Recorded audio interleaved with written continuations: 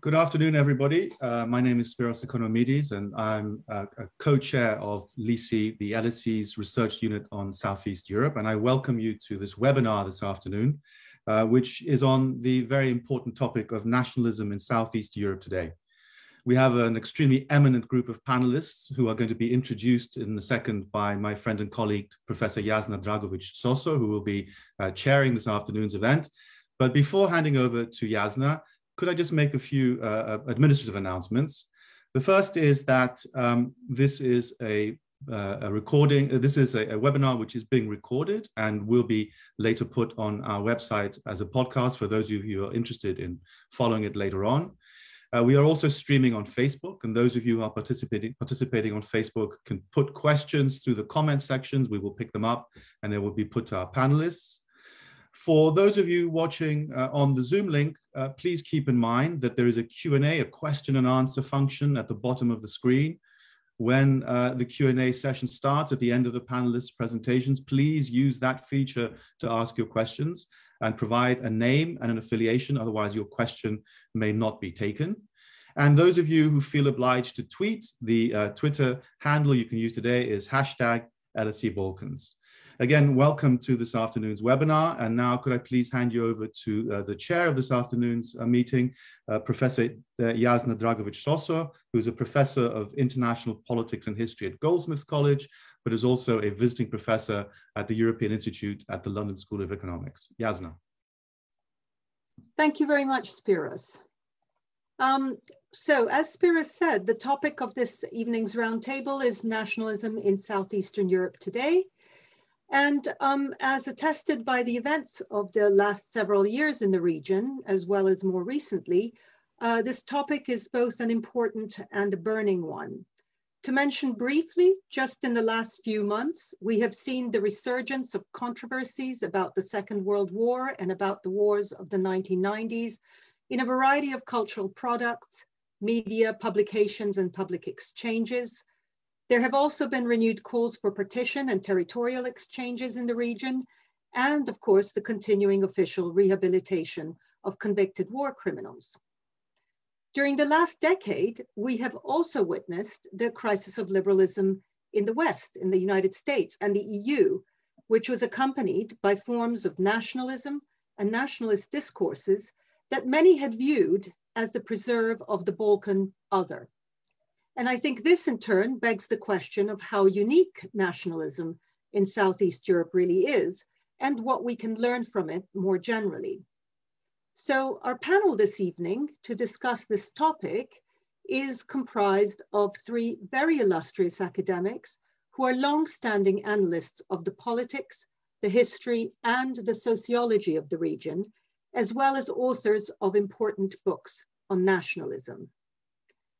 Florian Bieber is Professor of Southeast European History and Politics and Jean Monnet Chair at the University of Graz, where he's also the Director of the Center for Southeast European Studies. Florian is also the coordinator of the Balkans in Europe Policy Advisory Group, known under the acronym BIEPAG, which is a widely consulted source of information about the region. His most recent books, both published in 2020, are Debating Nationalism with Bloomsbury and the Rise of Authoritarianism in the Western Balkans with Palgrave. And he is also the author of many other publications on Southeast European politics and society. He has a further book coming out with Palgrave in 2021, co-authored with Roland Bieber, called Negotiating Unity and Diversity in the European Union. Dejan Jović is professor of political science at the University of Zagreb and visiting professor at the University of Belgrade. Between 2010 and 2014, he was chief political analyst to the president of the Republic of Croatia. Dejan is the author of Yugoslavia, a state that withered away with Purdue University Press and Rat i Mit, War and Myth, Politics of Identity in Croatia, which was published in Croatian with Fraktura in 2017 quickly sold out and is now in its second edition. Earlier this year, it received the Krunoslav Sukic Award for Book of the Decade in Croatia. Until recently, Dejan was the editor-in-chief of the Croatian Political Science Review, Politička Misao, and is now the editor of Tragovi Footprints, Journal for Serbian, Serbian and Croatian Issues. Siniša Malešević is full professor and chair of sociology at the University College Dublin. He's a senior fellow at Conservatoire National des Arts et Métiers in Paris and currently a research fellow at the Netherlands Institute for Advanced Study in the Humanities and Social Sciences in Amsterdam. He's an elected member of the Royal Irish Academy and the Academia Europaea. His recent books include Contemporary Sociological Theory with Steven Loyal, which came out last October, his 2019 book, Grounded Nationalisms, A Sociological Analysis, and his 2017 book, the Rise of Organized Brutality, A Historical Sociology of Violence, both with Cambridge University Press. The Rise of Organized Brutality won the American Sociological Association's Outstanding Book Award in 2018, and Grounded Nationalisms was a runner-up for the 2020 Stein Rokkan Prize for Comparative Social Science Research. Siniša is the author of 10 books, eight edited volumes, and over 100 peer-reviewed journal articles and book chapters, and his work has been translated into 13 languages. I'm absolutely delighted they have accepted our invitation to take part in this discussion, and without further ado, I turn over to Florian. Well, thank you, Jasna, uh, for having us uh, putting this panel together and your this is your brainchild and um, also for Spyros and LSE for organizing and hosting us even though it would have been nicer to be at LSE at this moment than um, virtually. Um, and also, of course, I mean, I, I guess it's it, I'm happy about the invitation, not happy about the the, the causes, which Jasna you've outlined already so so kind of succinctly why we're talking about this particular topic. Um, so you know, I wish we could move away or have a purely historical debate about nationalism in southeastern Europe, and not one where we have to deal with the contemporary. So this is in a certain way not a very fortunate uh, theme we'll have to engage with today. And I mean, the first step I would like to say is that you know, I don't see you know anything specific to southeastern europe when we're talking about nationalism. I mean of course there are particular specificities in terms of uh, historical historical references, uh, political dynamics in the present. But the overall phenomena is, of course, nothing unique and nothing special. And I think this is one very important one, especially as we're discussing a particular region, that we have to also be aware not to fall into the trap of uniqueness and specificity and rather recognize that the phenomena we're looking at have their historical record uh, in the region, but are not, um, are not limited to it. And I mean, yes, as you already said, you know, we, we are we are first of all in an environment where certain expressions of nationalism uh, and uh, have become more common in a number of countries. Um, and you know, I think first of all, maybe the question of, of, of defining what we're talking about, because the problem in this is, I mean, Siniša has worked on this extensively, the way in which we understand nationalism. And, you know, it has these multiple layers. There are these dimensions of nationalism, which is the everyday, the banal nationalism, the flying the flag, the the uh, buy British, by American, and so on, which uh, is ubiquitous and and quite different in terms of intensity and exclusion than the more kind of violent exclusionary types of nationalism. So first of all, I would like to say that this other type of nationalism is present in many societies kind of nearly constantly as we're living in a nation, nationwide organized world. Um, but the question is really more the kind of exclusionary and potentially virulent nationalism we're talking about. So nationalisms which are uh, which are explicitly excluding and emphasizing the exclusionary dimension, and which are also potentially either violent or highly politicized and highly polarizing. So this is how I would narrow it down. So of course, this is something we've seen globally on the rise. And I would, uh, you know, and I've, I've, I've, looked at this on a global scale. I think it's, of course, impossible to say there's a single global picture. The world is too diverse, luckily, to, to allow for such a global assessment. We've seen it mostly rise in European countries in North America, with some traces elsewhere, like in India. Um, but of course, very often we have to, and, I, and I've argued that it's very hard to disentangle the reinforcement of nationalism with authoritarianism and populism. And I think they are form a triad uh, which really work together and are mutually reinforcing. So sometimes nationalist politicians are not elected because they're nationalists. They're not elected because they're authoritarian, but they might use both strategies as ways to uh, retain power and influence. Um, so, and of course, the causes are not nationalism itself. I mean, we know this very well from the studies of the 1990s Yugoslav wars that nationalism did not emerge, that it wasn't the cause, but it was more the consequence of something else, uh, of a uh, erosion of legitimacy, erosion of state, a crisis of a, of a ruling system in many ways. Uh, and nationalism is not the cause, but the consequence. And I think also here now in today's world, nationalism is maybe a consequence. It's not a cause by itself. Um, it's caused by a multitude of, of factors, which uh, is is very hard to kind of capture in a single in a single description. And I think what we're what we're dealing with is that some of the global phenomena we're seeing manifest in southeastern Europe. Um, and they of course manifest in something which uh, which is the past, which has not been fully dealt with. And uh, you know the the wars of the 1990s and the Second World War uh, are resources of which uh, are talked about and are highly controversial and contested uh, in a certain way historical events. And unfortunately, the period between the wars themselves and the present have not sufficed and have not uh, kind of uh, led to the processes necessary to um, deal with them. And this means that now you can have the rehabilitation of war criminals, you can have uh, a constant reminder of the antagonisms of war, you can have hate speech in newspapers, and all of the kind of hallmarks which we observed before the wars in the 1990s are witnessable uh, in following public debates uh, in the post Yugoslav space today. Um, now, and I think Dejan might speak more to that because he's this book Rat i mit is, is I think very extensively devoted and an excellent study on that topic.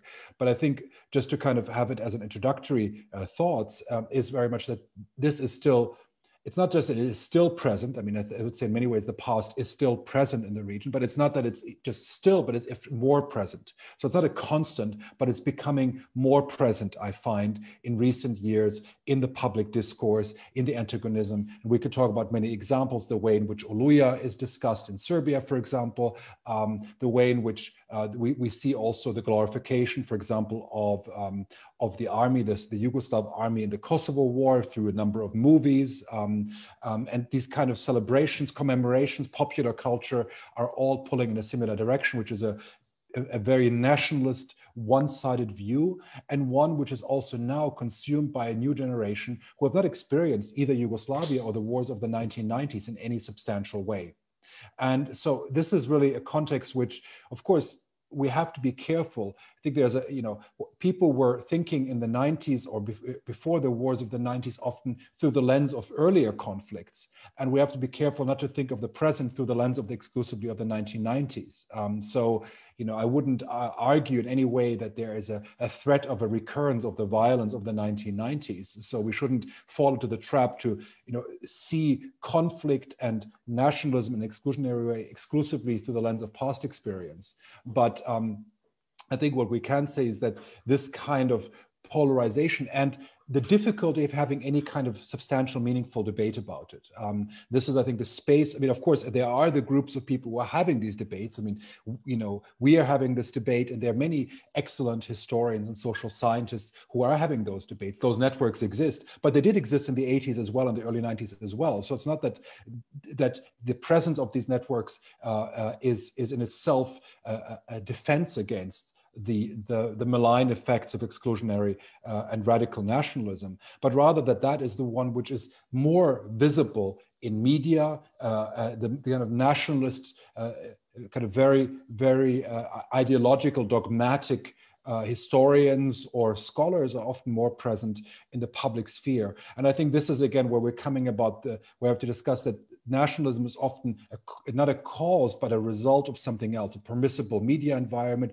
authoritarian tendencies in the region. So I think we cannot talk about nationalism as being as being uh, the, the, in a certain way caused, but rather that it's triggered by a number of phenomena which come together: the weakening of the liberal European, in a certain way, post-war order, um, uh, especially in southeastern Europe, uh, the the, the kind of declining attraction of liberal democracy as an ideological political model, um, with it combined the declining attractiveness of the European Union and the fact that there are, of course, other ideas of Europe. I mean, we have an idea of Europe as promoted by people like Hungarian Prime Minister Viktor Orban, which is a Europe of nation states, which is anti-Muslim, which is anti-immigration, which is uh, defined on uh, the kind of antemurale Christianitatis or the uh, defense wall from the southeast ideology. And this is another vision of Europe, which is competing, not just in Hungary, but is competing on a European level, and one which resonates, uh, picks up themes from Southeastern Europe, and again feeds to the region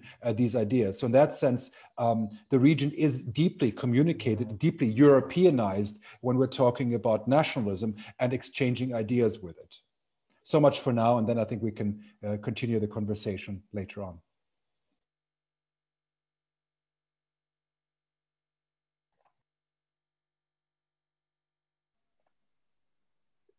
Thank you. Dan, would you like to continue? Yes, why not? Thanks so much, Jasna. And thanks for the invitation to the LSE. I would start by saying that, in fact, um, in the last 30 years, and this is 2021, therefore 30 years since 1991, this crucial year for the post-Yugoslav um, area. In these 30 years, I think nationalism has been consolidated and I think shaped um, in a way in which it now represents and actually signifies, and it is a much more um, stronger uh, political occurrence or a political phenomena, uh, more clearly defined, and I would say with more powerful uh, instruments to um, achieve its main objectives than it used to be back in 1991. Maybe this um, I think maybe this conclusion or a tentative conclusion might come as a surprise because we all remember, of course, 1991 and how violent these years were and how we felt that actually this was also due to uh, strong and violent uh, nationalisms. But I think we shouldn't really confuse the violence, uh, which in this particular case was result, in my view, of chaotic and anarchic nature um, of the uh, international order, or at least the international order in this part of Europe, after its collapsing with 1989, um, in fact, with um, nationalism, with a strength of, of nationalism. I think nationalism was um, rather uh, disorganized and uh, I would say confused somehow, if I may use this word for something that is a doctrine and, and ideology, um, and therefore, if you look, for example, the uh, main um, advocates or proponents or actors that uh, acted, acted on behalf of the state or a nation, I think what we actually can see in the 1990s, especially the first half of the 1990s, that they, they were full of ideas uh, which kept changing with time um, that could not define either the concept of a nation or a state, uh, that couldn't really define the objectives of uh, national politics uh, when it comes to their uh, new, newly, uh, newly created nation states. And I think that they, they were pretty much, just like many others in a general public, confused and surprised with the um, series of events that actually happened in 1990, uh, 1991 in former Yugoslavia. Um, when it comes to general public, I think we we have the evidence of this in uh, various uh, public opinion polls done in 1990, but also in the uh, voting behavior in 1990, um, we could uh, challenge actually the, the notion that there was a very strong desire for independence, um, for their own separate nation state um, from Yugoslavia. Um, I think we could certainly argue that this desire for independence by 1990 was already strong and uh, clearly articulated in Slovenia. But when it comes to um, North Macedonia, as it is called now, or Montenegro or Bosnia and Herzegovina, um, I, I couldn't actually, I don't remember a very strong desire um, on the side either of political elites of these countries or general public for independence. And if you don't have a strong desire for independence or to create your own nation state, then of course the question is what is the character of the of nationalism? Is this really a national? Is this really nationalism? And what are we actually talking about nationalism? Um, when you uh, when there is no uh, clear desire um, for statehood or for independence. Uh, when it comes to Serbia, uh, some might be surprised. I mean, because there, of course there is a lot of discussion about the strength of Serbian nationalism. It's certainly uh, Serbian political actions in the 1990s were clearly, uh, they also involved violence and a lot of violence. But um, Serbia did not declare independence uh, ever, actually. It, it became independent in 2006, um, largely due to Montenegrin uh, desire for independence after all these previous uh, declarations of uh, independence back in uh, 19 from in the period from 1991 um, onwards. And uh, the similar thing is with Croatia, in which, um, for example, now we are, I think, in May 21, uh, there will be 30 years exactly of the um, rather well-known referendum on independence which involve in the in the question, in, in, the, in the referendum question, also some other options, such as, for example, a possibility for a new confederation between Croatia and other uh, nation states. Therefore, I would say that actually, you know, back in the 1990s, despite the violence, um, I think there is some space to challenge whether actually these uh, Southeast European or post-Yugoslav nationalisms were either strong or organized or well-defined.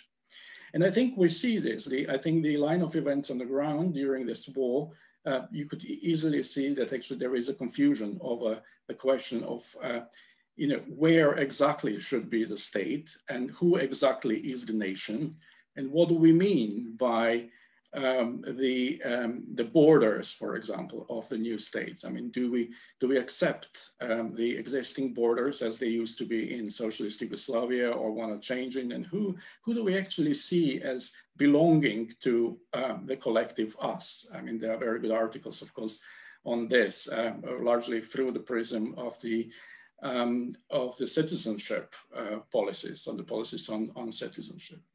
I think uh, now, however, 30 years uh, since, what we see is, I think, uh, much better defined nationalisms in post-Yugoslav states. And the, the reason for this is not only that there are 30 years in between, um, and therefore they had enough time, I think, to organize themselves and to think of what is a nation and where is the border and whether it could be changed and who belongs to us and the others but also it is due to, I think, several other factors. First of all, in some cases, some of these confused uh, nationalisms um, that needed a war to strengthen the key elements of uh, us and the other, of the otherness and the self, um, they got uh, uh actually, to their own surprise, rather successful. Um, they used um, well circumstances and support that they um, uh, got. They uh, they got from from abroad from the external uh, actors of the time. And uh, for example i mean i first of all i have in mind slovenian case um, in which for example when slovenia even declared independence i mean we all remember that nobody recognized it for um, six or seven months and it took the war in croatia basically to um, for slovenia to to gather recognition. Therefore, this external support for independence certainly strengthened and made very successful Slovenian uh, nationalism and the idea of independence from Yugoslavia. Um, the same or a similar cases, of course, with Croatia, which um, was which is a country in which I think we can we can talk uh, we can see that nationalism, of course, was also very successful, and it was successful not only in terms of keeping the borders uh, receiving independence uh, against odds uh, in January 1992, um, but also achieving a high degree of ethnic homogenization in 1995 in particular. Um, all of this with support from the outside, and uh, it is a very big question, of course, whether the indigenous or the original uh, domestic forces would have been powerful enough and organized enough to um, achieve uh, any of these uh, particular successes.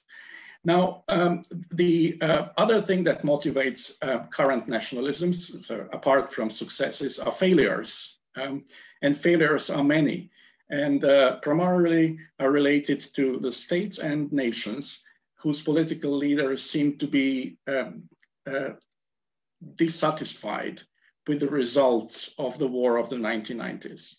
Those who believe, for example, that the borders um, in which they uh, were left with their own states or the uh, definition of the nation with which they are, uh, they are, they are now uh, being left uh, is um, unsatisfactory. And um, I think there, apart from Croatia, from Slovenia, and to a degree Croatia, we have a number of um, dissatisfied uh, states um, who actually are uh, hoping for, I think, a new, basically a new opportunity.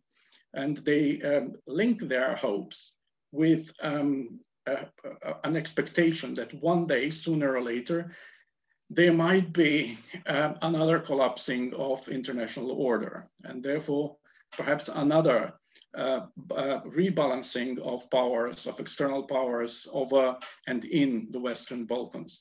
And therefore, that these nationalisms are um, also promoting the idea of frozen conflict, for example, the sense of being victims, being excluded, not being understood, uh, not being supported to the same degree to which, for example, the other, some other nationalisms have.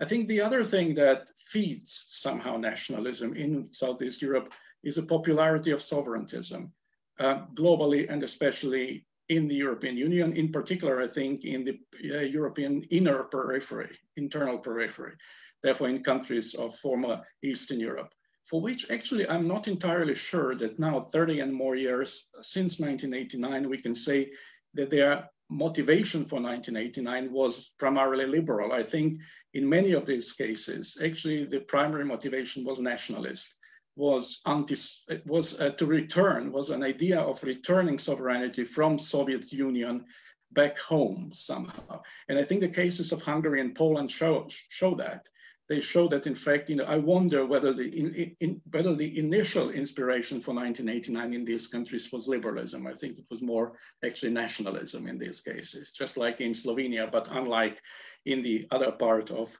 uh, former Yugoslavia. And then thirdly, I think what we see is uh, the sense of uh, unfinished businesses in uh, Western uh, Balkans. And in particular, I have in mind three issues which introduce a degree of uncertainty. And uncertainty is always good because with uncertainty, you need to give some response, you need to reassure people, you need to show the way uh, how to deal with challenges that are inevitable in, in the future. Uh, these three uncertainties I would call uncertainty about disintegration, uncertainty about reintegration, and uncertainty about integration. Now, uncertainty about disintegration uh, refers to the um, disintegration of Yugoslavia. Is this process now over or not? Um, is six or seven post-Yugoslav states um, all? Or is this process still um, ongoing? And can we expect fear and hope, depending on where we stand in political scale, that this process will continue with disintegration of uh, further disintegration that would lead to that would lead to more states in former Yugoslavia. The second thing is related to issue of reintegration, reintegration of post-Yugoslav republics, now independent states, of which uh, several had actually disintegrated at the same time when Yugoslavia did disintegrate you know, we sometimes forget that it actually, it was not only disintegration of Yugoslavia in 1991, it was a disintegration of Bosnia and of Croatia and of Serbia. And now we also have this integration of Kosovo, which, which is the fact whose borders, the, de jure borders are not the same as de facto borders. So I think all of them had to face some challenge of uh, being reintegrated. And in those cases where there is external support for integration, it has happened to a degree. Whether this degree is now sufficient that we can say that the process is over, whether it is still a process that is ongoing, that's a big question again.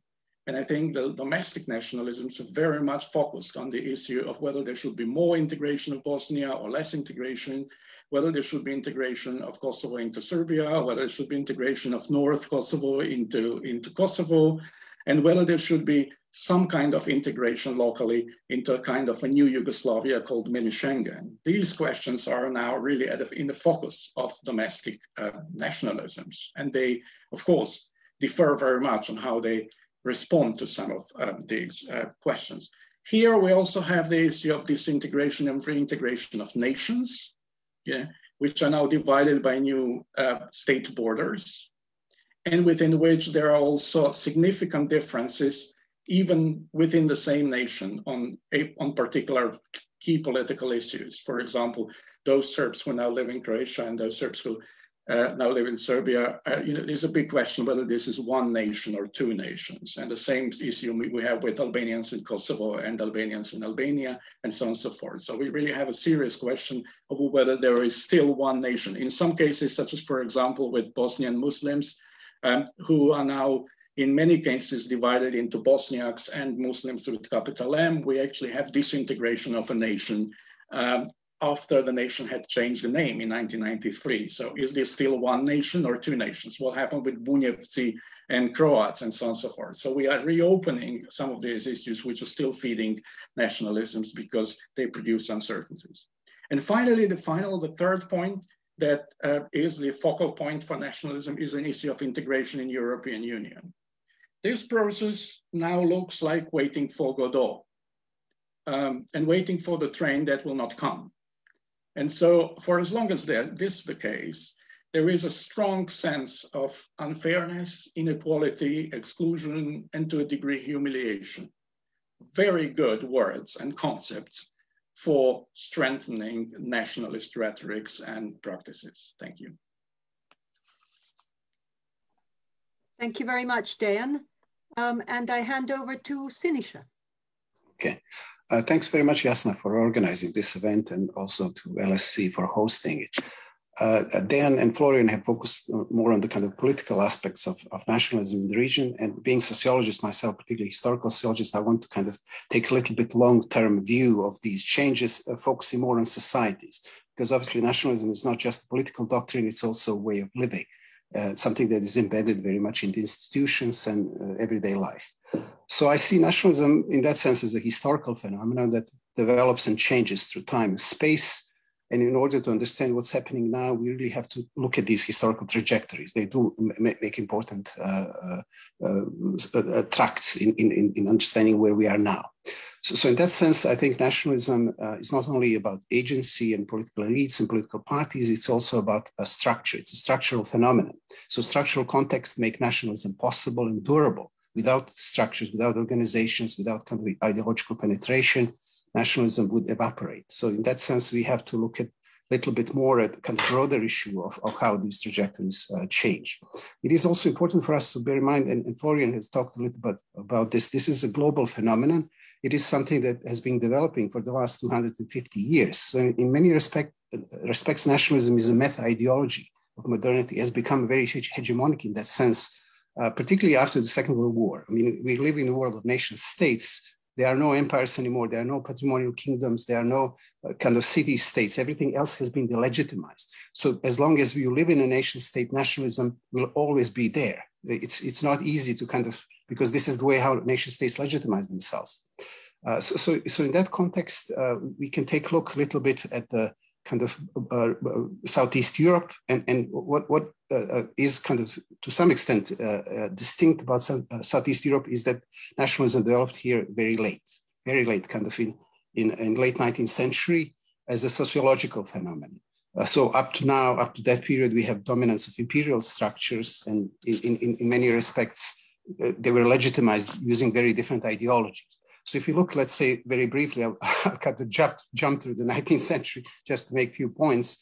Uh, if you look at, you know, the, how national, whether there was any nationalism in the 19th century, we have to look at the way, you know, how coercive organizational structures were developed, and they were very underdeveloped. You know, this this was a region that was very late to modernize. It had a very poor infrastructure, very uh, weak transport communication network networks. These are all important for kind of society, to link society, to link people between different villages.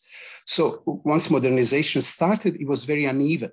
Uh, focus was very much on, on military, on police, on administrative apparatus that you know was was not very uh, uh efficient, but was very expensive. So much of this you know state capacity was built, but it was quite weak for many years. So uh, uh, and and was very much built on the money borrowed from from you know West West European states, France mostly. Uh, then if you look in, in, terms of ideology, ideological penetration of nationalism, in this reason, it wasn't very deep. You know, imperial legacies were much, much more powerful. Religion mattered much more. Local attachments were much stronger than nationhood, clan, extended families, kinship networks, village communities. This is how people lived in everyday life. This is how they saw the world. Uh, also very important, something that you know most theories of nationalism emphasize, illiteracy. You know, if you don't have literacy, it's very difficult to build kind of cross-class uh, identities. Uh, so, uh, so, you know, what we see here, rampant illiteracy in Serbia, for example, 19, uh, sorry, 1864, 90% of the population is still illiterate. Even at the beginning of the 20th century, 83% illiterate in Serbia. Uh, in 1930, uh, in Romania, 43% of Romanian adults were illiterate. this is also a society where you don't have a kind of mass educational systems which are key vehicle of nationalization. Uh, you don't have uh, standardized languages. You have lots of still dialects spoken. These are, these are all kind of, there are no preconditions for nationalism, no so-called high culture. You know, theaters, museums, academies, concert halls, libraries, theaters. These were all built uh, mostly mid to uh, late 19th century. So nationalism was quite weak in that sense. It was a uh, elite phenomenon, very top-down thing uh, you know, it, it, narrow social strata was receptive to nationalist ideas, state bureaucracy, police, military, intellectuals. While majority of society here, we are talking about 90, more than 90% were essentially peasants, uh, urban, urban poor, uh, poor uh, population, and they were not, they were either ambiguous about nationalism or quite hostile. So what we have, they were generally anti-statist, which is a legacy of the empire, also, uh, you know, very sympathetic to uh, peasant populism. That's why, you know, a number of, of, peasant parties were very influential, Bulgaria and Serbia and so on. Also very religiously conservative. So all of these are not good grounds for, for kind of nationalism. So what happened in the 20th century, this is a key period for development of nationalism.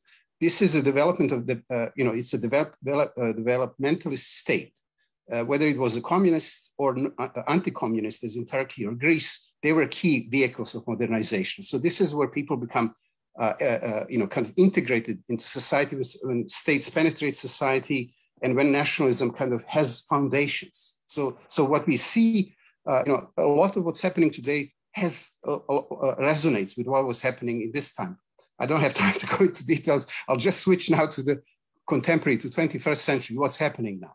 So see what, what we see now here, we have a, in terms of organizational structure, very robust, huge uh, uh, bureaucratic apparatuses. Uh, but they're obviously inefficient, corrupt, nepotistic, clientistic, but they're enormous. You know, uh, uh, public sector in Serbia is about 600,000 people. In Croatia, about 400,000 people. States are very centralized. Most states are very centralized. Uh, they also have decent development, developed transport communication networks, so the societies are integrated. So you can spread nationalist ideas throughout society much easier.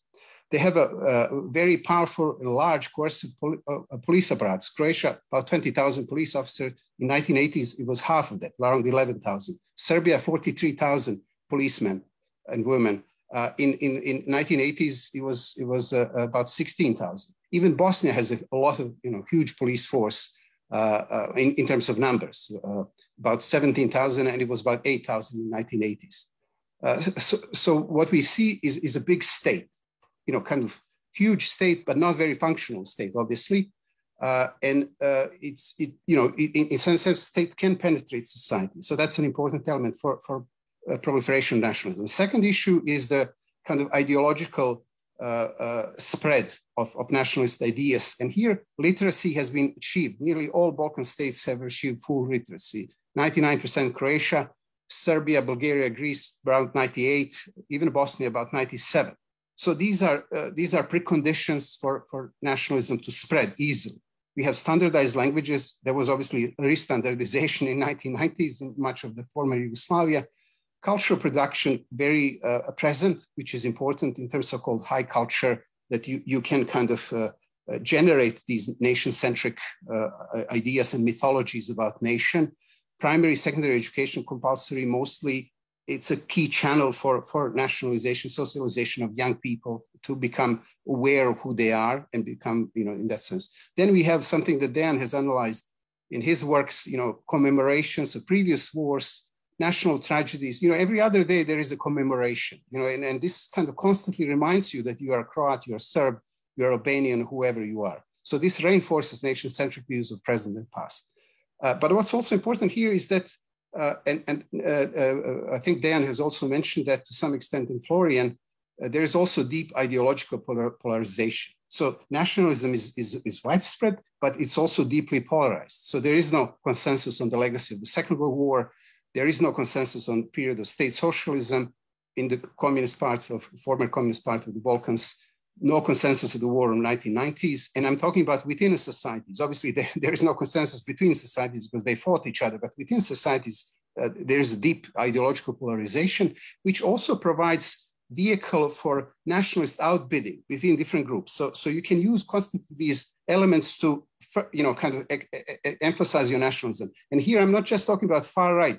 You can have a left version as well, because everybody can use these discourses to, to make kind of nationalist claims. And nationalism, some respect, is the key mechanism for you to, le to legitimize yourself to the to wider audience. Then we see also divides in terms of uh, generational divides. Younger people are mostly, you know, have problems finding jobs and, and emigrating. They're also more influenced by world trends. And uh, there is a division between urban and huge division, urban and rural areas, deep inequalities in what are essentially very impoverished societies with small middle classes so we, that's why we have a you know huge uh, immigration brain drain. You know, half of population of Bosnia lives outside of Bosnia, and this is the more educated part, for example. Uh, so, so, obviously, impoverished populations seem to be more leaning towards exclusive uh, nationalism.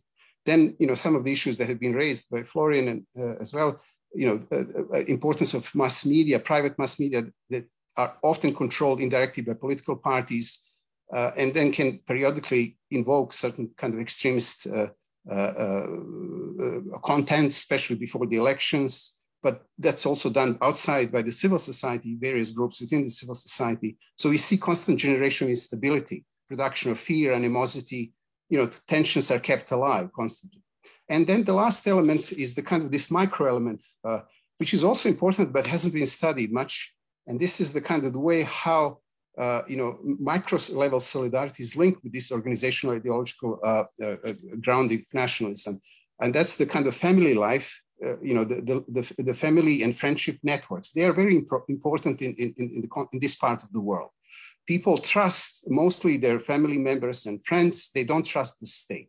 If you look at the various surveys, they're enormously low level of trust in state and government. you know, around 20% maximum in Bosnia and Macedonia uh, which is much lower than OECD countries or, or EU. Uh, younger people are the, the, least trustful towards the state. Uh, so there is more trust, you know, kind of in reliance on these family networks of support. And we know, for example, that, uh, you know, uh, Balkans have the largest number of young people living with, with the parents, this range between 18 and 35. In Montenegro, 77%, in Croatia, 75, in Serbia, 72, compared to Norway, let's say, where it's 21%. So it's an, you know, people are dependent on their families rather than the state. They don't trust the state. So kinship and friendship networks are very important uh, and they are not penetrated by the state. State is distracted, seen as, as, as kind of corrupt and, you know, this other thing. So, so what we see here, we see deeply nationalized population. Most surveys show that people identify strongly with, with the nation, uh, but they also distrust the state. So th that's also the reason why nationalism is strong because state is, in that sense, not, not kind of, does, has not penetrated the micro world. We, we see more nation and less state in some respects. Uh, so when we go back, you know, you see that nationalism has really increased uh, uh, profoundly over the over the last two centuries, and, and these societies. I, I, would agree with Dan in that sense that nationalism is, is very strong in that sense, in, in that sense, but it's also uh, uh, unevenly grounded. Uh, so, so that's why it's so loud you know, there is a good good uh, uh quote by uh, Mark Beissinger where he said that you know we should distinguish between nationalisms that bark and nationalisms that bite. This is a much more of a barking nationalism. It's very loud because it's insecure. You know, in, in that sense, uh, that's an important element to analyze. Uh, so, so I'll stop here now. I probably went over my time. uh, thanks, yes. Well, thank you very much, um, Siniša, Dejan, and, and Florian. Um, we're starting to get uh, questions coming in. Um, what I will do is I will take um, about three questions at a time um, and sort of summarize what the questions are uh, for you and, um, and ask uh, either the panel or individual uh, speakers uh, to speak. But before I do so, and while we're warming up uh, with the questions, um, perhaps I could just ask you a very academic question in a sense, which is, um, in your view, this is to the panel, what has been the contribution of the study of nationalism in the Balkans for our general understanding of nationalism as a phenomenon? Um, I don't really mind which order you want to go in. Just uh, a brief answer because we're now starting to get a lot of questions.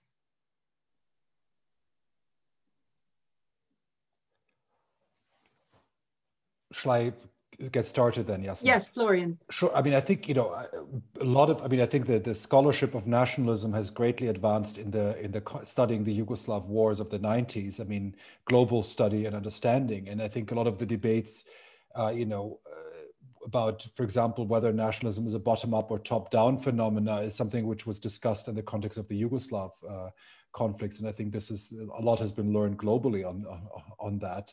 And I think all of us have, you know, done our own research on the Yugoslav uh, case, and I mean, Siniša more than all of us gl globalized or taken the lessons global in a many way or studied in a larger context. I think, and I think this is important. My point is also that we should study uh, what is in the, you know nationalism in any particular part of the world, be it in southeastern Europe, in a global context, and, and try to learn the lessons for for larger phenomena. So, I mean, I think the processes, uh, which also Siniša was just pointing out now, are global. You know, whether it's literacy, whether it is the, the mechanisms in which nationalism is communicated, that it's you know very much often driven by elites, and and, and all of these are, are are not unique to any in any way to the Yugoslav context. A lot of it was studied in that context, but it's it's not specific at all. Thanks. Anyone else? Well, Dan. I think we, yeah, I, I think we have here a great a set of cases in, in, in a way in which we can um, we could, which we, to which we can actually apply some of these theoretical um, ideas. I mean, we, we here have, uh, you know, first of all, states that uh, appeared on a map, and as I said earlier, some of them without even their population expected them or hoping it would happen or even knowing what to do with them. And actually their weakness to a large degree is a consequence of this confusion and suddenness of historical events which were which hit uh, the population in, in uh, Southeast Europe. But then we also have the attempts of the um, uh, identity designers, as I call them, um, to shape and organize the nation and, and, and to uh, sell the size of the state and uh, the history of the nation and the history of the state to the general population with more or less success. And that's what they have been doing in the last 30 years. And as a result of this, as I said earlier, I think we now have much more consolidated nationalisms than they used to be back in the 1990s. In the 1990s, I mean, as for example, V.P. Gagnon said, I mean, the myth of ethnic war, you know, books like that, I think very seriously, and I think uh, they were quite right in pointing out that actually this, the interpretation that these wars were primarily ethnic uh, should be should, should be challenged. And and uh, and I think they were right. And and the part of this was because there were also other motivations many other motivations for people to commit violence in in the war. And I mean, this this is something that goes back to violence in wars in general. I think. I mean, we we have now very good books on Bergholz, for example, on the Second World War violence, which you know we also used to treat as interethnic and inter-ideological, but in fact there were very many other motives and circumstances. And I think that is something that we should also take from the Yugoslav studies uh, forward and then uh, obviously apply to some other cases if they are similar, and certainly they are in comparative politics. Thank you. Okay, uh, maybe I can jump as well. I, I, think there's a lot of what we have learned uh, that has, has kind of impacted on nationalism studies from, from this region. Historically, you know, there are all these kind of recent debates on national indifference and kind of the legacies of empire and the relationship between imperialism and nationalism, which are much more complex than they traditionally, you know, traditionally we would just see imperialism and nationalism as mutually exclusive. Uh, and now we see that there's much more commonality. Then obviously the, the, the state socialist period and, and the relationship with nationalism has been also kind of questioned and analyzed. Before you would think, again, traditional conventional understanding was you know, uh, communist uh, communism was very anti-nationalist, but in reality, you you know, it was much more subtle, more complex relationship.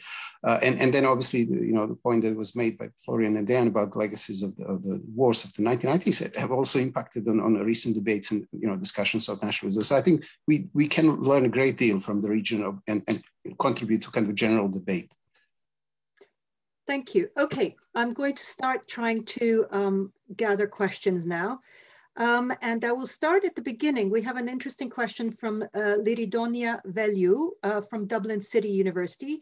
Um, she's a PhD student currently in Illinois. And this is the US question to all speakers. She says, um, most recent academic trends have touched upon race in the Balkans.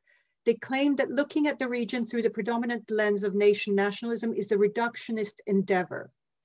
What is your view on this? And which, if any, phenomena in the Balkans would you consider as best viewed from a racist rather than a nationalist lens?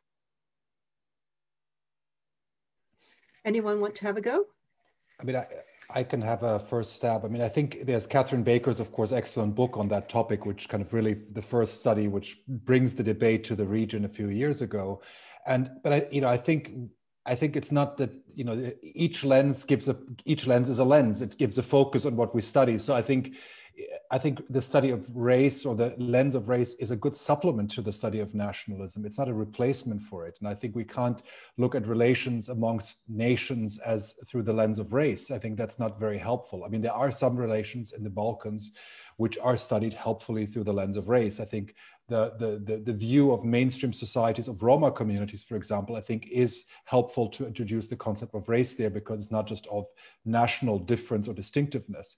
Sometimes the relations among between South Slavs and Albanians as well have a, a racialized uh, undertones. Uh, and I think there it's very useful to include that, to uh, realize that it's not just about nationalism, but there is a racialized kind of dimension to all of that. And then there's a larger question of, you know, how does a place like uh, European you know, states which were not imperial um, position themselves in these larger debates about colonialism and post-colonialism is an interesting debate. But again, all of these are supplements or rather different perspectives, but I don't think they can replace the importance of, of nations and the study of nationalisms, um, uh, but they're rather just another, another uh, angle to, to study the region.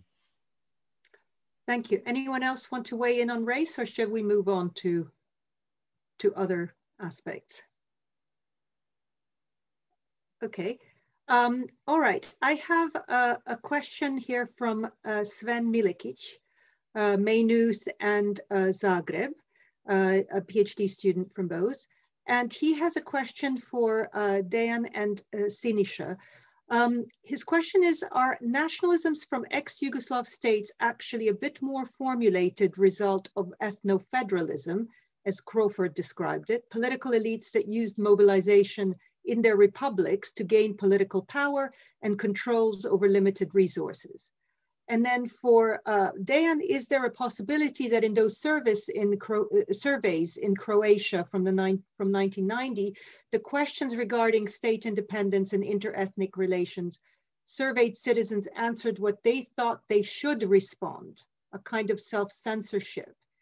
And finally, um, a question for all, will virulent ethno-nationalisms in ex-Yugoslav states ever transform into more of a Western type banal nationalism, or will militaristic forms of nationalism prevail in the long run? And this ties into a question from Vesna Popovski, um, who uh, uh, says, um, didn't the political elite define uh, na the nation through the ethnic optic and therefore was it not confused for Dejan? And finally, um, uh, Will Bartlett from LSEE asks, uh, does rising income, income inequality in the nation states of the Southeastern Europe delegitimize the national project and nationalism rather than strengthening it? And this I would um, address to uh, Siniša in particular. Okay, since I seem to to get um, two or three questions, if I may, um, just try to briefly answer. Um, the, the first one is on um, ethno-federalism and um, organization of a nation and nationalism in socialist Yugoslavia. Uh, yes, I think the socialist Yugoslavia, in fact, certainly was not a nation state and it was not, it didn't aim at becoming a nation state. Um, instead, it was um, a specific form of, uh, of political uh, organization uh, based around and founded around the ideology that involved, as you know, the concept of withering away of the state. And, but it also involved internationalism, and it was very solidly based on the uh, Marxist and, uh, in this particular case, Leninist and Stalinist interpretation of the concept of the nation and nationhood. And uh, indeed, in as much as um, socialist Yugoslavia was an internationalist project to some degree up until 1975 in particular, I think also with an, with an option of being open for other members potentially or territories um, in the future should the socialist revolution happen and all these things. Um, at the same time, it also uh, recognized um, the existence of nations and gave them a kind of a quasi-state form um, through the declaring uh, the socialist republics as uh, sovereign nation states. They were not only that, they were also socio-political communities in which there, there is a self-management and everything that goes against the notion of people's and national sovereignty, but certainly in the form, it was national, in the contents, it was meant to be socialist. So I suppose uh, it is therefore I think you are right if you're suggesting that, in fact, this was the beginning of, uh, or at least it was this form that connected uh, the uh, national ideas from the past uh, to the 1990s. It kept the, the, the flame alive somehow during the socialist period, and it served as an institutional shell uh, to organize new nation states and actually to supply it with also the cadre or the kind of uh, uh, civil servants and political leaders and so on and so forth. And uh, I think therefore socialist Yugoslavia uh, did not uh, successfully eradicate nationalism. Nobody could. I mean, globalization will never defeat nationalism and nationalism will never defeat globalization. I think they will coexist always to some degree. But in this particular case, it also had space for institutionalized socialist uh, nationalism. So socialist nationalism meaning national informed socialist in contents, right? And I think that's that's my that would be my guess, uh, my answer to your question. Uh, the survey. Um, uh, well, you know, the, if if it were the only source, I think we could have uh, perhaps have some uh, doubts about that. Although it, it, actually was conducted in March 1990, when uh, it was an anarchic situation. Nobody was in power. There was nobody to fear. Um, I think in this particular, this was a brief moment in which actually uh, you had such a situation in which you know I don't know who to fear really in 90, in March 1990. Uh, but uh, what actually re reaffirms the, the findings of this of this survey is the way the, the, the question on the referendum was formulated a year after that, in May 1991. It was quite obvious to me that unlike in Slovenia, in Croatia, the political elite did not dare to ask a simple question, do you want Croatian independence, yes or no? You know, the question was much more complex and much more complicated, deliberately so, because political leadership of Croatia, not even in May 1991, was sure that a question yes or no would result with a clear yes. And I think that's, for me, that's good enough. I think that, of course, the situation changes with the war, and the war served also to increase the desire for independence and to eliminate any alternative, including the confederal alternative. The war was very useful for separatists. And actually, it was the only way that they could actually get uh, independence. Had it not been for Vukovar, I'm not sure that Slovenia would have ever been recognized internationally. The, and, and certainly, and, and Croatia would not. So I think without that war, uh, which transformed the view of political um, actors abroad, I think we have a decisive, decisive change. For this, in this sense, in Croatian nationalism is quite right when they say that without the war, there would be no Croatia. There would be no independent uh, or internationally recognized uh, Croatia. And then uh, the third question was about ethnic optic in interpreting the concept of a people, but I think I've already uh, answered, I already said enough in responding to this, so I'm leaving, leaving this to, to other participants. Thank you. Okay, uh, just uh, I, I, I think I, I, will answer first two. I, I, I, didn't hear the third one. Maybe you can remind me what the third one was. The first one was the uh, kind of the importance of a state socialist period, and I would argue that's the most important period for, in, sociological sense, for development of, of nation-centric understanding world. Despite U Yugoslav state being a, a, kind of federal and and socialist, I mean, what what Dan mentioned, you know, the the kind of the the Soviet idea of nationalist in form, socialist in content actually worked the other way around. It, it was, it was a nationalist in, in, content and socialist in form. And, and we have a lot of research, obviously, in the Soviet Union and, and other kind of Czechoslovakia and other places where we see, you know, much of the kind of recent research points out how central nationalism was for legitimacy of the state. So it, it was, was not necessarily kind of, of an ethnic uh, form, but it was still very much defining feature. I mean, the, the Yugoslav experience of uh, fighting partisans in the Second World War, you know, you, you won the war. This was your legitimacy. Legitimacy was against the enemies, uh, others, the foreigners, and the domestic you know, uh, uh, traitors, essentially. So this is a language of nationalism. It might be a left left-wing version, but it's a nationalism nonetheless. so this was an important legitimizing a principle that, on which you had then structural transformations that built uh, uh, population in, in becoming aware that they were they were never really Yugoslav. I mean, apart from mixed families, because Yugoslav a party never really aspired to build a Yugoslav nation. We know that from Kardelj very clearly. He was, you know, even when he was writing in, in the late 30s, you know, he, he wasn't aspiring to build a Yugoslav nation. So, so in that sense, uh, we have to look at these structural changes, and that's the increased literacy rates, development of, of kind of uh, uh, infrastructural capacities. We have to look at the, you know, uh, creation of so-called high culture, which was, you know, always national, but also in Yugoslavia. So it had to be balanced. And then over the years, obviously, you know yourself, uh, Jasna, have written about this kind of importance of intellectuals and everything else. Uh, uh, so, so, nationalism was always there. You know, there was no, you know, the idea was to kind of try and control it rather than to abolish it. You couldn't abolish it because this is the way how all nation states, and I would disagree with Dan here, Yugoslavia was not a nation state, not in terms of ethnic nationalism, but it was not an empire. So we live in a world where the, the only entity that is legitimate is a nation state. Internally, how it's organized, it's a different thing. It could be a federal state, it could be anything like that. But the principle is there. It's not that that you have one nation in a state. You have the idea that you know, Yugoslavia is represented in international uh, affairs as, as one entity. So the fact that it's internally diverse and the federal doesn't matter because it's not an empire, it's not a patrimonial kingdom, it's not a city state, it is a nation state, but not a, a national state, not a nationally homogeneous state. So, so that, that period is very important. And, you know, that's why we have these legacies, uh, you know, in the 90s. It wouldn't happen if we did this did not, uh, wasn't the case. You wouldn't, you know, we had all these national academies and things like that.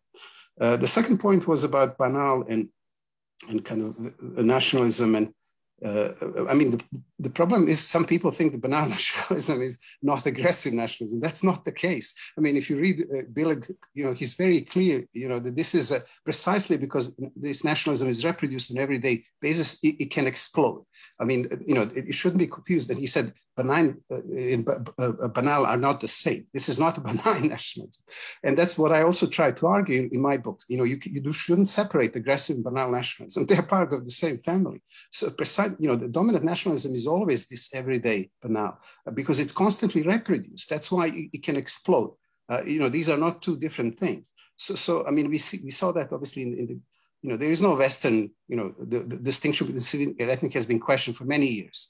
So saying that Western nationalism is some sort of a, uh, you know, cuddly, nice nationalism, that's not the case. We saw that in the US with Brexit and everything, how easily these things can explode. So I, I this distinction is really uh, not very useful in, that sense of, you know, distinction between Eastern and Western. So, so that would be my response. I don't know what was the third question. the third question was about uh, income inequalities and whether they uh, delegitimize the nationalist project or strengthen it. Mm. Uh, I mean, uh, it, depends again on the context. They, they can be used and they have already been used very much to so instead of talking about you know issues such as jobs and blah blah blah you talk about you know enemies and project these these problems but nationalism can be strengthened like in the case of denmark or or finland or iceland or kind of these economically uh, prosperous societies where, where nationalism is kind of more embedded uh, but but kind of prosperity brings brings uh, more attachment to the, to the state. I mean, this is Gellner's point. Gellner's point was that there are two sources for legitimacy in modernity, uh, economic growth and nationalism. So if you have these two combined, you're a prosperous state. So you cannot get rid of nationalism. It's just a question of what kind of nationalism will be, you know, how you can con contain it. Okay, thank you very much. Okay, I'm going to take another set of questions. Um, and uh, the first one is from um, Nicola Minasi, who is the Italian ambassador to Bosnia and Herzegovina. And he's asking, would not a renewed call for brotherhood and unity of Yugoslav times be a useful bridge to the EU. Uh, what went wrong with that and how to re reevaluate it? Uh, Florian, I'd like you to take this one. Um, and then a related sort of question about alternatives uh, is from Denisa Kostovicova uh, from the LSE, um, who says, given your views on nationalism, what can you tell us about political and social forms and space of anti-nationalism? And how might this have changed since the 19 the early 1990s this is to all speakers. And finally uh, um, peter frostad uh, from king's and um, lse uh, what kinds of changes do need, need to be made to democratic institutions at the local regional and national levels to make citizens feel as though their voice matters um, so this is these are the sort of three questions around alternatives and, and possibilities. I wonder if Florian, you might want to take those. Uh, thanks a lot, Jasna. Uh, first, to answer uh, Ambassador Minasi's question, I think I mean, it, kind of also addresses the other questions is, you know, what are the alternatives to, to nationalism? And, and I mean, even the terminology already betrays the difficulties because, uh, you know, anti-nationalism doesn't suggest what it is, it just suggests what it isn't or what it is against. And I mean, with the disappearance of Yugoslavia, there, you know, which, you know, had some ability to identify other than ethno-nationalist to have a state identity let's say there wasn't an alternative and we see this also in the in the identity categories you cannot be a croat of croatia uh, in a census or in the public discourse without being assumed that you are Croatian in the sense of ethnic belonging, and the same is the case in Serbia.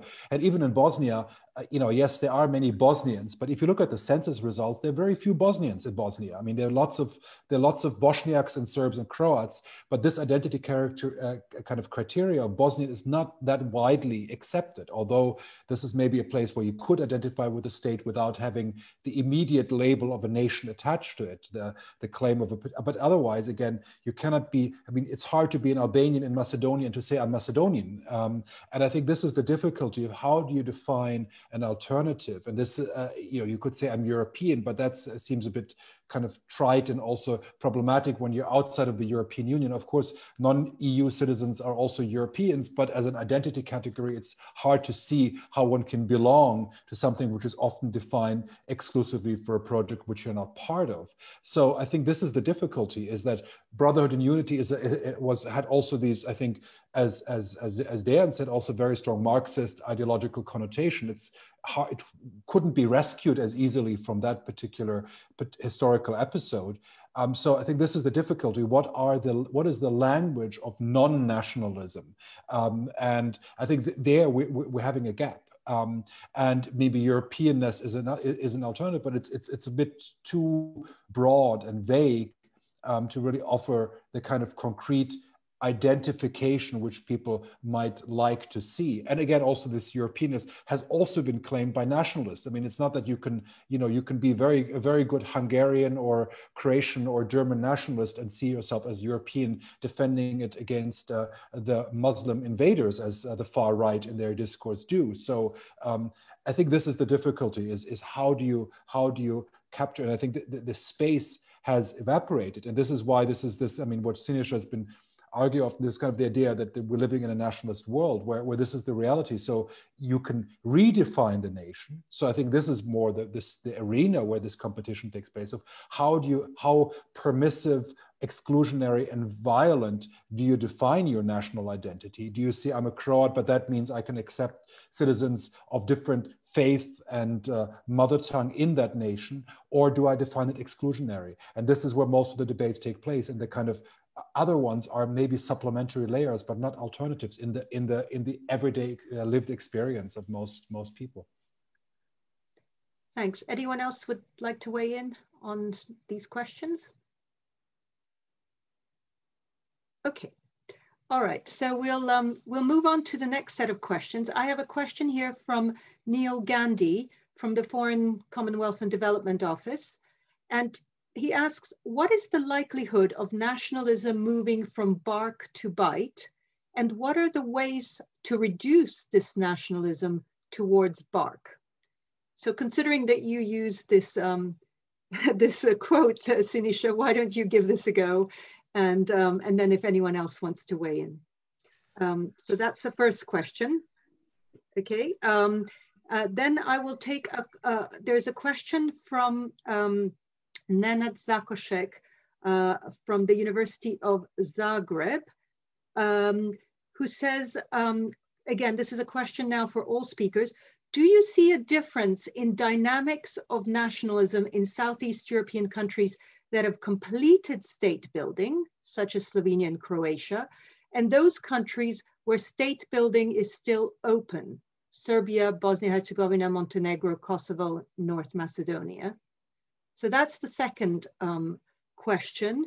And um, sorry, I, there was another question that I, um, ah, yes. Um, so there is a question from Sam Pryke, Wolverhampton University. Does the beginning of the passing of the Yugoslav generation um, have any significance for the region? Or was Yugo nostalgia, born of a common culture and appreciation of the benefits of the common federal state, never really something that had real political significance, only a curiosity anyway? So this is a question on sort of the, the, the legacies of Yugoslavism in the region. Um, so let's start with, with Siniša and then um, move on to uh, Dan and Florian. Okay, so so the distinction between the barking and biting, obviously it's a metaphor, but it can capture many different things. One one is uh, barking in, in this particular case indicates weakness. You know, essentially you, you cannot achieve certain things and there, therefore you, you are very aggressive. So so it is a sign of insecurity. And and we can kind of contrast that again with the example of maybe some nationalisms like Finnish or Danish which is biting, but more in, in terms of sort of nationalist attitude towards the immigrants. So in a sense, you don't have to do any, anything, but you introduce certain restrictive measures and, you know, kind of police people in a particular way, which might be a, a particular form of biting nationalism, which is not necessarily good. But you can use biting metaphor, obviously, for explosion of nationalism in times of war, uh, you know, and that obviously what, what has happened with once the Yugoslav state when it, when it collapsed. Uh, so, so, I mean, these they may not necessarily be a good thing that you move from one to another. It's just I think they're useful metaphors in kind of trying to uh, organize these ideas and see what's happening in particular society. Uh, the, the, the second question about the U Yugoslav generation, I think that's a very good question. In a sense, it's worth uh, uh, exploring this, doing some really kind of proper sociological research to see uh, you know, how young generation uh, see this legacy. And, and I imagine a lot of this has to do with the family traditions. You know, people are very much aligned, you know, their family. I mean, this is like third or fourth generation of people who fought in, in the Second War on different sides uh, tend to be, you know, uh, more sympathetic or more hostile to Yugoslav uh, heritage. Uh, so, so, obviously, you know, generation that grew up in, in Yugoslav times uh, like Dan and myself, I don't know, yes, we're around, you know, we, we do obviously have all these kind of memories and we know exactly what was happening, but the new generation, you know, they, they might build these kinds of uh, a sense of what this was, which can be kind of idealized as, as a form of Yugo nostalgia. Uh, but, but, but, you know, we also encounter a lot of kind of interaction between young people, you know, across, across these, these societies. So there are groups which are very hostile because they often are part of these families which have a very different understanding of, of the Yugoslav times. And then you have this third or fourth generation who grew up in, you know, kind of having a, this uh, positive attitude towards that period, and they'll continue to do that. Uh, I, I, I, mean, obviously, this is something that has to be explored properly to see how this works. But it is an interesting. I don't think once the, the this older generation dies out, that the, this whole project will disappear. I think it will still be there in, in a different way. Um, Dan, maybe you would like to yes. come in. Yes, right. Um, the new gener the uh, bark to bite uh, aspect. Um, I think the, uh, the, the nationalism, but that goes for any other doctrine or ideology or political program, gets has a potential of getting dangerous when there is a collapse of uh, the state and or of international order, and uh, especially when it happens at the same time, which is which was happening in Yugoslavia in 1989. And I think this brief moment of anarchy and chaos was very dangerous. And even uh, weak new alternative ideologies and a relatively small number of uh, people following them uh, it, with extreme views and intentions uh, managed to be successful in circumstances like that, especially when they were tolerated and supported by um, actors which were uh, willing to provide weaponry, um, which is, uh, I think, precondition for starting a serious bite. Um, and I think this is what we had. We had actually collapsing of international order in Europe. We had collapsing of Yugoslav state. We also had collapsing of Croatian, Bosnian, Serbian uh, republics. Um, and we had, so therefore nobody to stop extremists. Um, and then also we had uh, various parts of the former state apparatus uh, being becoming available to uh, various extremists and linking with, with them and arming them from within and then opening the borders for the outside. So I think these, these are the circumstances. In other circumstances, um, they can certainly be successful when it comes to discrimination, hate speech, um, violent acts against individuals and ethnic minorities and various groups, uh, migrants and and uh, ev everyone they don't they don't like or support. I mean, whoever they think they are, they would usually call them uh, you know, Serbs if they are in Croatia, or I don't know, whatever, Ustashi if they are in Serbia, or Shiptars or something like that. They would label them ethnically even if some of these groups that are to be discriminated, although often they have nothing to do really with ethnic uh, groups, uh, just in order to insult them and to uh, link them with this big, bigger uh, narrative. But I, I, can't see for as long as the state is sufficient to stop um, violence, I, I, don't see this uh, really happening.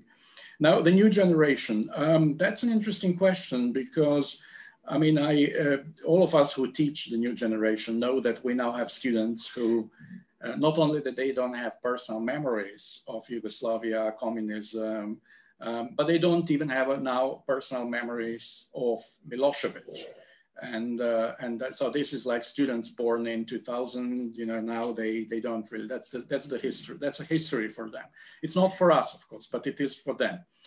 And uh, I think there is a difference. I mean, from a personal experience of teaching both in Zagreb and Belgrade, I think there is a, a slight difference in between these two uh, cases, because in Croatia, Yugoslavia was over 30 years ago. And so therefore, I think we really now have a new generation for a while, which was born after Yugoslavia and uh, largely educated and taught uh, by, by in, in schools and so on and so forth negatively of Yugoslavia. And they are now in a they are now in a situation that when they really want to find some alternatives to the dominant narratives, they uh, also look at the Yugoslav experience as a source of inspiration for alternatives. Some of them. They also go further in the past, so that they look to NDH, for example, as well. So we have this, you know, the, the uh, uh Ustasophilia, but also Yugoslavophilia in a way, as a form of resistance to the dominant, overwhelmingly supported state organized and imposed narratives. Uh, so and also ideological differences. We, we have, you know, right wing rising, but also left wing rising in a way in this new generation, I think. When it comes to Serbia, however, I think this distance from Yugoslavia was, this is a shorter period of time. And so, for example, Yugoslavia for um, uh, uh, young students in Serbia really ended in 2006, not before that. And I think this is still the early stages, early, early uh, period. Uh, I, I, see the difference after 2012 with uh, Vucic coming to power and basically reshaping the national identity uh, for Serbia that would be as far, as, as much detached um, from Yugoslavia as possible. So what we see now is like building monuments to Stefan Nemanja and, and Serb Serbianizing the Yugoslav history somehow, right? Especially during the second, as the Second World War and, and so on and so forth. And uh, I, I, think we, we now really are in this phase, which I think in Croatia was um, was actually in it happened, let's say 1997, 1999, 2000 maybe, uh, but not after that. I think what's also interesting is how the Croatian state now uh, faced with a new generation of people who have no memory of the homeland war, the, you know, the big myth that organizes Croatian national identity now, how they try to uh, transfer that narrative onto the new generation. And I see some interesting parallels with the Yugoslav communists who were trying to do this back in 68, 70 through you know, new generation wave of films and, and music and monuments and stories and educational programs. I think the Croatian nationalists are doing the same because they are a little bit worried about the, you know, how the new generation will respond to old stories. Thank you. Um, Okay, uh, Florian, would you like to add anything here or would you, because um, there's a number of questions here that I think will. Let's take a few more questions if we can. Okay, so um, there are lots of excellent questions, by the way. I cannot possibly um, get through all of them, but there have been a number of questions about um, the influence of the external environment. Um, and uh, so, for example, Nada Zečević from Goldsmiths asks, um, how do you assess the influence from abroad to the reinforcement of the region's neo-nationalisms? So that's a, a, general question. Then there are more um, specific questions about, um, uh, by, for example, Luisa Riberi, who is a graduate student the, uh, at the LSE, uh, she asks, following High Representative Inzko's remarks at the Security Council last month on the concrete risk of a new partition or disintegration of Bosnia in the coming years, how likely is this scenario uh, to take place? And should the international community or the UN or NATO or all, I suppose, intervene again in the region? And how should they do this? So in terms of, of policy. Um, and um, uh, then there is uh, Damir Vucevic, uh, who is at the University of Illinois, uh, who has a question again um, about the recent proliferation of non-papers. And he asks, in your views, what is the international community more likely to support? Status quo, redrawing of borders, mini Schengen, or something else? So we're looking at the um, basically the impact of external environment and actors, both um, you know, in the sort of recent past and also in terms of policy and future um, uh, policy. So um, we have five more minutes. So I would propose to end with a sort of a roundup on uh, these questions around external actors and, and policy implications. So um, Florian, would you like to start on that, please? Yes, sure. Thanks, Jasna. Yes, I mean, I think, let me answer this in two ways. I mean, one is the international order or the European order and the system which we're talking about, which was established at the end of the wars, which was primarily about uh, recognizing uh, republican borders and not engaging in new territorial uh, boundary making. Kosovo, the partial exception as not being a republic but a province, but still no internal boundaries uh, were you know kind of created. And the idea of kind of squaring the circle between the claim of nation states and still trying to keep states somewhat multinational and multi-ethnic. Um, and this was the paradigm of the last, you know, decades, really. And so in that sense, it, it kind of harks back to what, what Dan was saying. It, the question is how, how permissible is the environment seen by those who would like to redraw the borders or in a create more homogenous nation states or new nation states? How much do they see it's possible or are they waiting? Um, so there's this kind of, this is the question. Um, and I don't think there's the willingness of international actors to let go of this order. They are, of course, challengers and uh, we see them who would like to see this uh, question. But uh, uh the question is more is the is the current uh, system collapsing um, like it did in 1989 where we had a recalibration of global power? I don't i don't see it yet happening. Of course it's much more gradual process of reshifting of power relations, but I don't think it's going to pay, pay out in Southeastern Europe with such a strength, considering also the, the, the, this, the existence and I, am quite confident the survival of the European Union. The second part of that question is the question of ideas. And I think there it's more about what is this Europe based on? And there, of course, we do have a competition over ideas. Uh, you know, we have um, a much more, let's say, nationalist uh, isolationist view of Europe, which you know echoes in the region as well, and which again can work as an encouragement. I don't think this is necessarily going to change the borders of the region, but it does show that, of course, it always keeps this door open. And I think this is what I'm trying to say, was trying to say in the beginning. It's not the, the next tensions and conflict is not going to be a reiteration of the 1990s um, because as Dan said there aren't the weapons around today as they were in the 1990s there isn't the kind of larger international context around but I think this kind of attempt of undoing uh, the, the order, the kind of post-war order at the seams is something which seems quite possible. And I don't see the kind of um, uh, more vibrant liberal uh, world order uh, uh, represented by what has been called the international community, which long ago doesn't exist anymore, really standing up to protect it, at least in places where it might feel like it can live with uh, a gradual erosion. And I think this is maybe the biggest potential for, for you know, this gradual erosion in the region. Thank you. Siniša, would you like to go second and then we'll conclude with Dan? Okay. I, I mean, I'm, this is not my expertise, sort of. yes, I know.